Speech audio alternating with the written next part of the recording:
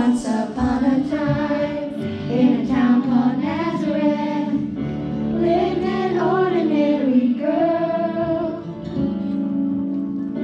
Mary was her name, and she was engaged to Joseph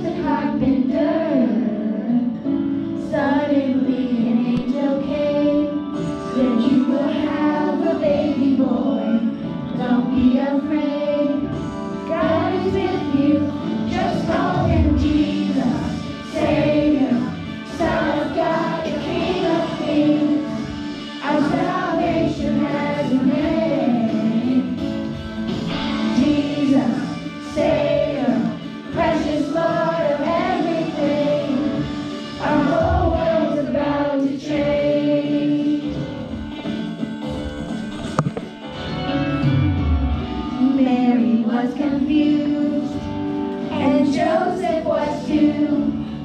He thought, how could this be?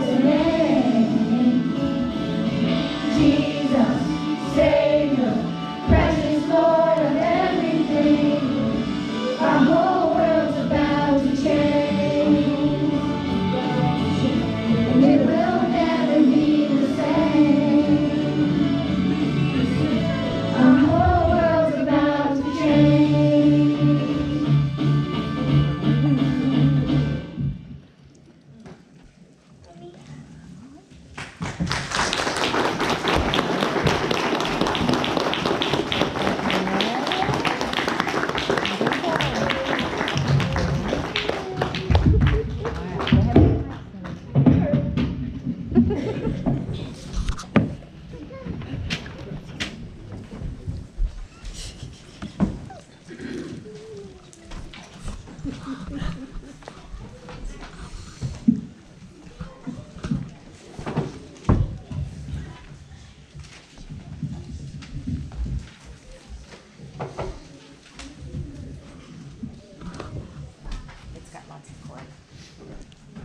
just want to thank y'all for being here tonight. That was uh, nerve wracking for me. It's been a long time since I've been nervous. I'll tell you what. I was telling, I'm going to say this a hundred times. But We're, praying for, uh, we're going to be having a booth, a booth built back there for the, house the computer and the sound system side by side, so we can have two people back there. That would be nice.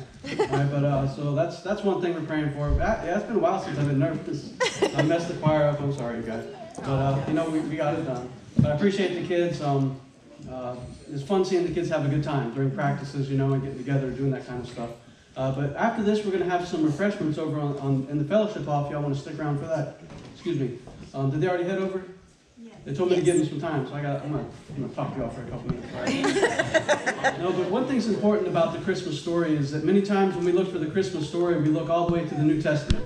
We'll go to Matthew and we start seeing the lineage of Christ. You know, the lineage of, of Joseph there in, Matt, in the first part of Matthew, and then we see um, Mary's lineage in the, in, in the book of Luke. And some, sometimes when we start looking at that, we say, oh, the Christmas story starts in the New Testament, or it started with the prophet Isaiah, if you will. You know, that whole story of, of the gospel and how Jesus was going to come save us. Right? But actually, you can find the story of redemption all the way back in the book of Genesis.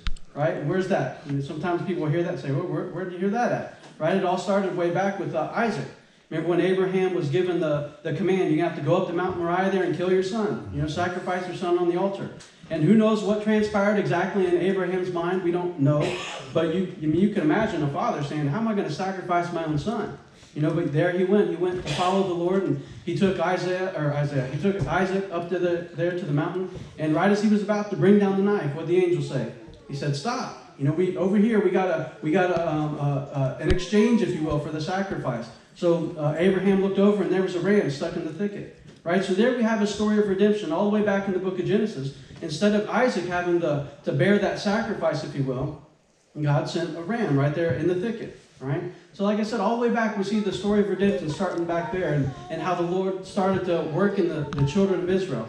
We, we, as you continue on through the Old Testament, you start to see the children of Israel, uh, they start to become a powerful people, right? They, they end up in Egypt, you know, multiplying, if you will, becoming a powerful people in Egypt while they were under slavery. Except, guess what? God sent, God sent Moses and said, hey, we're going to get you out of here. Right, so guess what? That started when we, we read about the plagues and stuff in Exodus, and we see how the children of Israel, they said, hey, once you get out of uh, Egypt, we got a promised land waiting for you.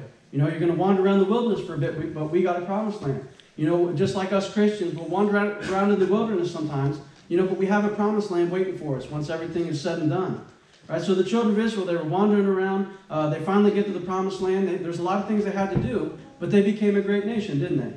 But they had their ups and their downs. They had six cycles. They would build themselves up, build themselves up, you know, and get stronger. And uh, once they got to a certain amount of power, they started getting kind of corrupt, didn't they? We start seeing that in the book of Kings and Chronicles where the uh, uh, kings started becoming evil and they started worshiping idols and stuff like that. God brought them low, whether it was through uh, the Amorites or the Moabites or whoever. Right? He did that six cycles, went up and down like that. They, they, they'd repent and get back to the Lord. They get stronger and stronger. The Lord was blessing. And all of a sudden, some of the kings started turning people back to idols, didn't they? And then all of a sudden, the Lord set them back in their place.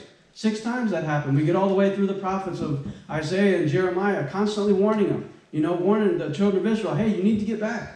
You need to get back to where, to where we started. And then all of a sudden, we get to the book of Malachi. And that's the last time the Lord spoke to the children of Israel for 400 years. Imagine that, you know, you being a people and then saying that, uh, you know, we have a Messiah coming. You know, but hey, it's been 50 years since we've heard anything from prophets or anything. You know, another generation goes by. It's been 100 years. We haven't heard any prophets standing up saying anything. What's going on? If we're supposed to be the promised people and we have a Messiah coming, what, you know, what's the deal? Another generation, 150 years, 200 years, up to 400, a little bit over 400 years goes by, nobody stands up and starts talking about Jesus. Nothing's going on.